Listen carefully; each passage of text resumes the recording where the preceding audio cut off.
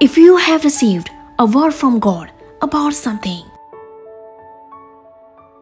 He wants you to do in your life, trust that He will make it happen.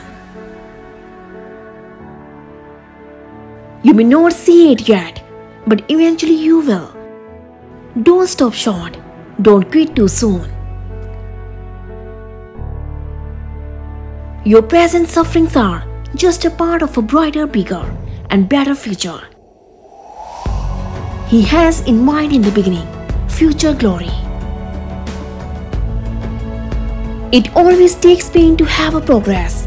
It takes trial to have a powerful testimony. It's not breaking you, it is making you. So instead of going too hard on yourself, celebrate how far God has brought you and rest in knowing that you are in the hands of a loving and faithful Father.